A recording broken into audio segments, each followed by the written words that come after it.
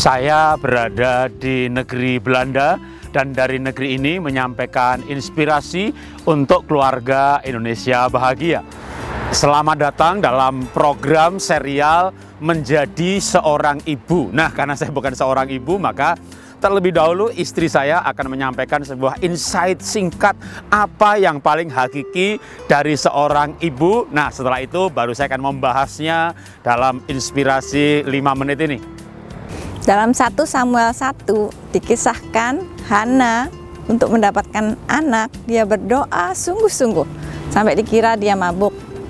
Dalam mendidik anak kita perlu kesabaran, ketekunan dan itu hanya bisa diperoleh melalui doa.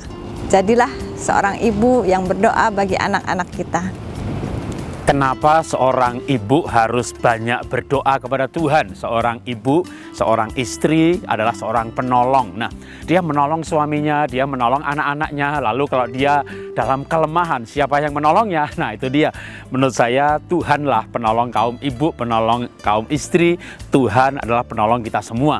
Sedangkan seorang istri dan juga seorang ibu pergumulannya luar biasa dia harus menghadapi anak-anak yang belum tahu apa-apa. Ketika anaknya bertambah besar, dia tahu, tapi tidak bisa dia melari ke sana kemari. Setelah dia mulai mengerti, tapi mulai mungkin memberontak, mendidik anak gak ada habisnya permasalahannya. Itulah sebabnya seorang ibu butuh kekuatan ekstra. Dari mana mendapatkannya kalau bukan dari Tuhan melalui berdoa, bergaul dengan Tuhan.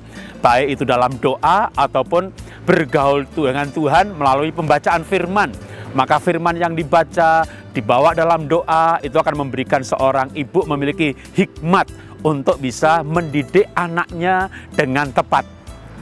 Saya bersyukur punya istri yang menjadi ibu bagi anak-anak, ibu yang baik, ibu yang dicintai oleh anak-anak.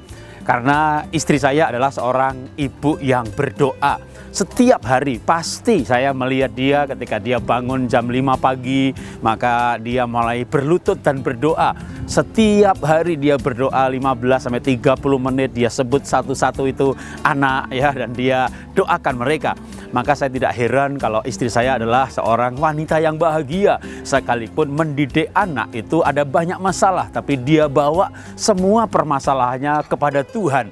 Dan Tuhanlah yang menyelesaikan permasalahan kami melalui para malaikatnya, melalui hikmat yang Tuhan berikan kepada istri untuk menangani semuanya. Tapi saya boleh mengakui bahwa Istri saya seorang ibu yang kuat, itu salah satu pilarnya karena dia seorang wanita yang berdoa. Melalui doa seseorang mendapat kekuatan baru seperti firman Tuhan berkata bahwa orang yang menanti-nantikan Tuhan akan mendapat kekuatan baru. Dia akan seumpama raja wali yang terbang. Dia dia akan berlari tidak menjadi lelah, berjalan tidak lesu. Kenapa ketika orang berdoa mendapat kekuatan baru? Pertama dengan berdoa berarti seseorang mengandalkan Tuhan. Ketika Tuhan diandalkan, tentunya dia akan menyatakan dirinya bahwa dirinya ada, dirinya baik, dirinya penolong bagi orang yang percaya kepadanya. Seorang ibu dengan segala permasalahannya ada saatnya pasti tidak kuat untuk sanggup menghadapi masalah anak. Ada saatnya kekurangan hikmat sekalipun dia seorang yang pandai, bahkan seorang yang sabar secara kepribadian sekalipun karena dia punya temperamen dasar karakter kecenderungan perilaku yang sabar.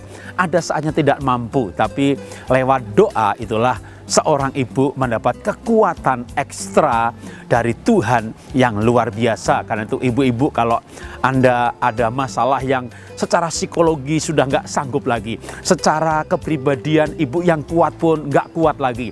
Ada satu pribadi yang jauh lebih kuat yaitu Tuhan. Bawa kepada Tuhan dan berserahlah kepadanya. Maka saya percaya Tuhan akan memberikan kekuatan untuk menjalani kehidupan sebagai seorang ibu yang bijaksana. Inilah inspirasi yang saya sampaikan dari negeri Belanda untuk keluarga Indonesia bahagia. Salam dahsyat luar biasa.